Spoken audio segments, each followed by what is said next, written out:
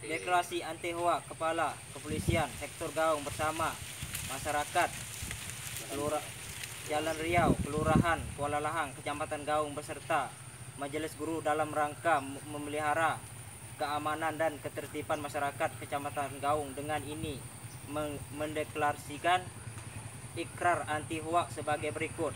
Satu, menolak seluruh be- berita yang tidak benar dan aspek ucapan kebencian dalam bentuk provokasi, hasutan ataupun hinaan kepada individu atau kelompok yang lain.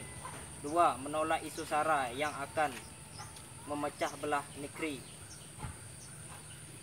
Tiga, mendukung Polri dalam memberantas jaringan serajen penyebar konten sara yang dapat memecah belah bangsa. Empat, santunan dan bijak dalam menggunakan internet atau med medsos. Demikianlah rekreasi ini anti hoax ini dibuat.